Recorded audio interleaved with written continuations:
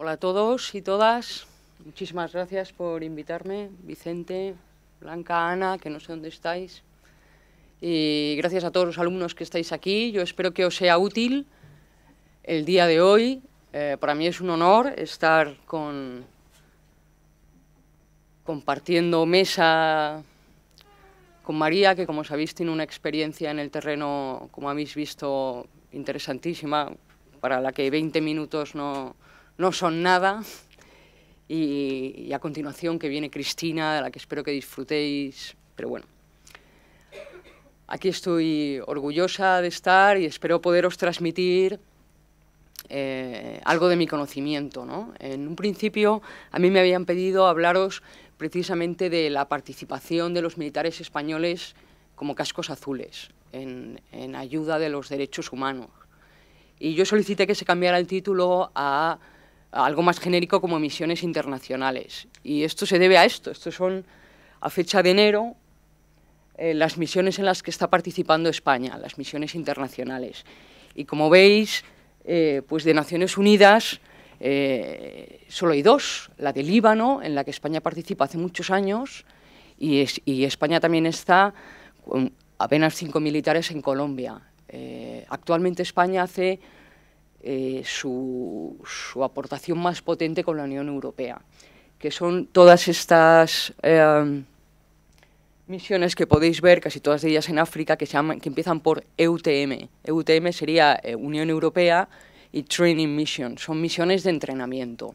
Y esto es porque la Unión Europea apuesta a día de hoy por capacitar a los locales para que ellos se hagan dueños de su propia seguridad, para que ellos sean capaces eh, de, que en sus países haya gobernabilidad, de proteger a sus propios ciudadanos. Em, en este caso yo, de hablaros de algún ejemplo, eh, os hablaré de UTM Somalia, donde ahora mismo tengo a un querido compañero y me transmite casi en directo. Esto es de las cosas asombrosas, porque María os habla de Sudán del Sur, donde no había ni edificios de dos plantas. A mí me resulta fascinante eh, tener a mi compañero Mogadiscio y que me chatee por WhatsApp por las noches. o sea, para mí, que soy de una generación distinta a vosotros, que me parece absolutamente de otro mundo. Pero bueno, esta es un poco la explicación de dónde está España.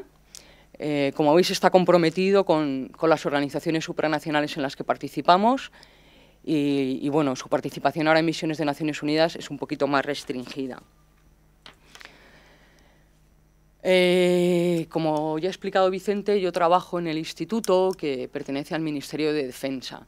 Eh, soy civil, pero trabajo con militares. Entonces yo entiendo que eh, más de uno, porque, en fin, yo tengo ya mucha mili dando conferencias, más de uno se preguntará, pero ¿qué tienen que ver los militares con los derechos humanos? Si es como al revés, ¿no? Si los militares van por ahí matando gente y todo esto. Bueno, la realidad, afortunadamente, es muy diferente a ello.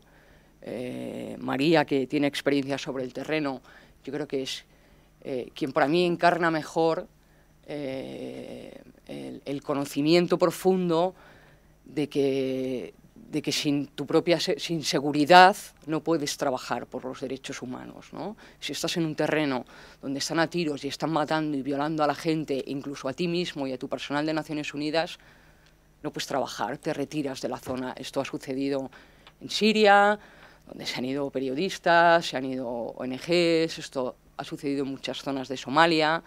Es decir, sin seguridad no se puede trabajar.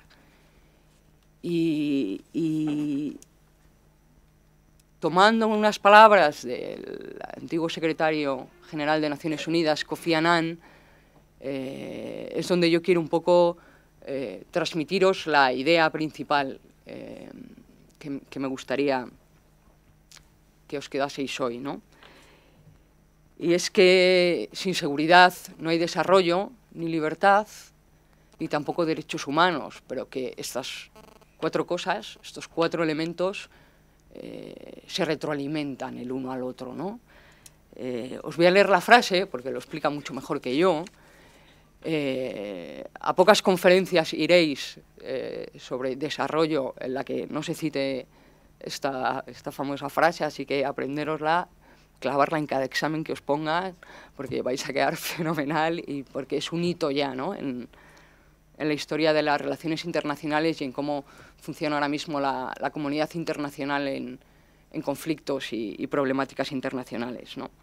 Las palabras en concreto de este documento de Kofi Annan eh, es que el desarrollo, la seguridad y los derechos humanos, bueno, eh, en, estos entonces se hablaba solo de desarrollo. Yo creo que a lo largo del día de hoy os explicarán cómo la palabra desarrollo ha tenido afortunadamente una evolución a desarrollo sostenible, que es muchísimo más completa, pero entonces Kofi Annan hablaba únicamente de desarrollo.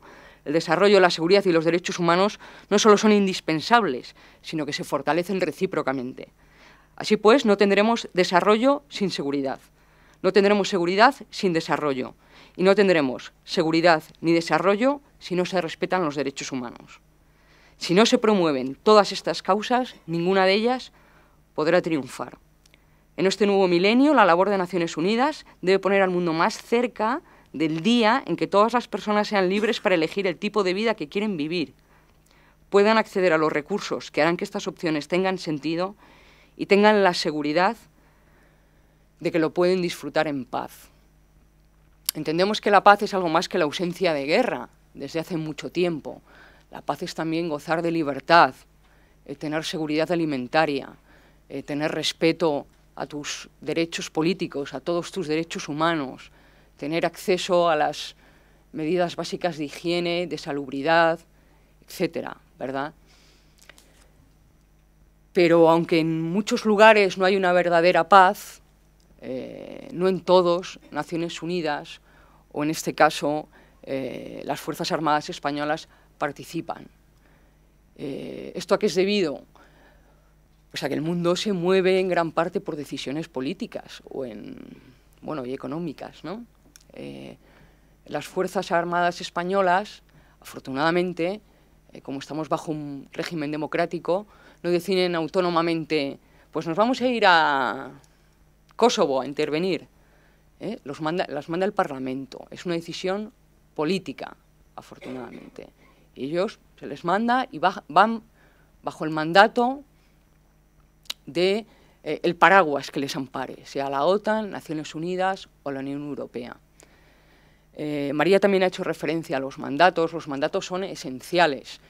Me imagino que me han contado que sois estudiantes de Derecho y de Relaciones Internacionales que habréis leído resoluciones de Naciones Unidas alguna le habréis echado un vistazo, ¿no? que son que, resumiendo, aceptando, ¿no? es un compendio de gerundios hasta que finalmente llegas al meollo de la cuestión, ¿no? Folios y folios de gerundios. Bueno, en, general, eh, desde algunas experiencias eh, lamentables, como en la antigua Yugoslavia, los mandatos ahora mismo eh, se formulan de la siguiente manera, ¿no? En líneas generales. Después de toda esta ristra de gerundios y, eh, respetando, ¿no? llegamos a y se decide que está autorizada la toma de la acción que se considere necesaria en las áreas en las que están desplegadas las fuerzas para proteger a civiles bajo inminente amenaza de violencia física, incluyendo todas las formas de abuso sexual y de violencia de género. Como veis, es lenguaje ONU. ¿Qué entendéis vosotros de esto? ¿Qué pueden hacer los cascos azules? La verdad es que nos lo ha chivado María, he hecho muy mal en tomar café con ella, porque se lo he contado y os lo ha chivado un poquillo, pero yo que he tenido la suerte de participar durante varios años en Kenia en la formación de militares y policías, hombres y mujeres, que iban a ser desplegados, africanos, todos ellos de unos 15 a 17 países africanos, que iban a ser desplegados bajo bandera de Naciones Unidas, cuando les ponías ante este mandato, eh, el 90% dudaba. Cuando les leías este párrafo, el 90% dudaba de exactamente qué puede hacer, qué quiere decir tomar cualquier acción que se considere necesaria. ¿Qué quiere decir esto? ¿Y qué quiere decir proteger a los civiles bajo amenaza inminente? ¿No? Es ¿Un poquito ambiguo? Bueno, pues es tan ambiguo como quiera el líder que haya de tomar las decisiones. Eh, los mandatos pueden ser el techo o pueden ser el suelo. Eh, queda muy claro que tomar todas las medidas que se consideren necesarias para la protección de los civiles quiere decir todas, incluida el uso de la fuerza. Para mi sorpresa, la gran mayoría de alumnos que yo he tenido estaba convencido de que cuando fuera desplegado bajo bandera de Naciones Unidas no podría emplear el uso de la fuerza. Y esto ha traído pues, a veces algunos bochornos a las Naciones Unidas, ¿no? porque las Naciones Unidas, al ser desplegado eh, como casco azul, eh, pues uno de tus em, principios ha de ser la imparcialidad. Pero la imparcialidad no tiene nada que ver con la inacción. Y, como sabréis, os investiguéis un poco, Naciones Unidas muchas veces ha sido acusada de inacción. Ha habido ejemplos, eh, como contaba María, de poblaciones, para la población civil, en cuanto ve un campamento de Naciones Unidas, especialmente si son militares, si no les dejan entrar, da igual porque acampan en los alrededores de las vallas. Y ha habido muchos casos de, de matanzas importantes ante los ojos de Naciones Unidas sin que Naciones Unidas haya hecho nada, bien porque eh, no se le había dado permiso, porque el mandato no lo permitía, o bien porque la persona encargada de tomar las decisiones entendía este mandato como no parece que estén bajo amenaza inminente. ¿Qué quiere decir amenaza inminente? ¿Qué quiere decir? Cuando tengan la pistola en la cabeza, ¿ya es amenaza inminente? o cuando veo un grupo armado que se acerca a ellos ya es amenaza inminente. Depende mucho de la interpretación y no debería ser así. La amenaza inminente, aunque no se cumpla, se debe basar en la experiencia anterior, en la historia y en lo que nos cuente la población. ¿De acuerdo? Esto es esencial porque ningún militar va a actuar fuera de su mandato. Lógicamente los militares obedecen, pero es que el mandato te obliga a proteger a los civiles y te obliga a defender eh, uno de los derechos humanos más fundamentales o básicos, o el que quizá permite el desarrollo de los demás, que es la seguridad. Entonces, ¿de qué manera eh, las fuerzas españolas, las Fuerzas Armadas españolas están contribuyendo al desarrollo de los derechos humanos? Pues esencialmente cumpliendo el mandato de Naciones Unidas, protegiendo a la población, aunque su mandato es lo más prioritario, eh, lógicamente son eh, personas y buenas personas en su mayoría, y entonces tienden a hacer lo posible para ayudar a la población. Y de estos ejemplos pues hay cientos, ¿no? Cuando, por ejemplo, en el Líbano, en la base militar española y de otros países, eh, se establece un hospital y hay cirujanos. Y eso es indispensable para la protección de nuestras tropas, pero afortunadamente nuestras tropas no están todo el rato a punto de morirse. ¿Qué se hace mientras tanto? Pues se atiende a la población local, se atienden embarazos, se atienden partos, se atienden operaciones importantes. Es decir, hay un espíritu de ayuda eh, y de colaboración con la población a la que estamos intentando ayudar. Hay un espíritu de, de procurar de los objetivos de desarrollo del milenio, que, yo no os quiero hablar, porque a continuación va a venir Cristina, que es la que más sabe eh, aquí de esto, pero me gustaría que os quedaseis con el objetivo número 16, que, cuyo objetivo es promover la paz, la justicia y la fortaleza de las instituciones. Promover la fortaleza de las instituciones es esencialmente lo que se está haciendo en todas las EUTMs que veis aquí.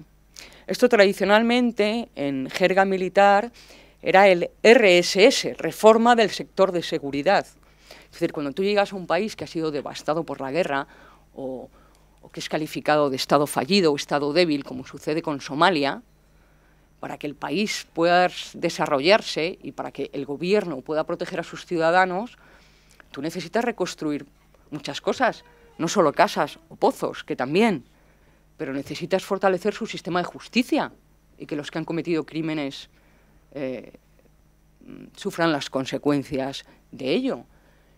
Eh, necesitas fortalecer y entrenar a la policía. En muchos de estos países la corrupción campa a sus anchas.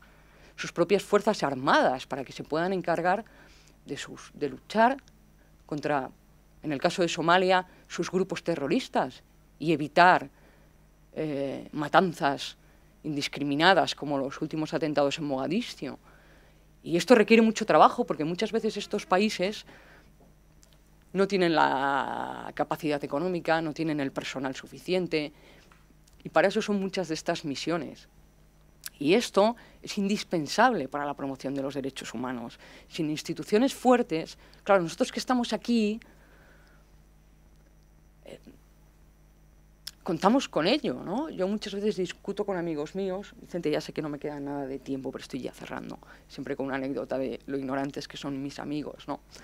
Eh, os pasará a vosotros, damos las cosas por garantizadas, ¿no? Que, que tú vayas por la calle y sin venir a cuento un policía no te para el coche inventándose eh, que tienes una rueda más baja que la otra y te detengan y te violen, a nosotros nos, nos parece lo más normal del mundo. Que el sistema de justicia nuestro, mal que bien, que el sistema político, mal que bien, funcione, que el país mal que bien, que la universidad funcione, que un profesor para ponerte una buena nota no te haga ofrecerte unos servicios que no vienen a cuento, lo damos por garantizado, pero no existe en todos lados. Y cuando viajas a un país donde todo esto falta, dices, Dios mío, qué afortunados somos en España. Y esto hay que extenderlo. Y para extender esto, muchas veces se necesita el uso de la fuerza. Es decir, yo no voy a venderos que las Fuerzas Armadas son una, ONG, porque ni lo son, ni es su trabajo. Pero sí que es verdad que cada vez más, que las operaciones son multidimensionales y cada vez hay más actores, cada vez hay con una complementación mayor con los humanitarios, porque es indispensable. La retroalimentación y el trabajo colaborativo es absolutamente indispensable.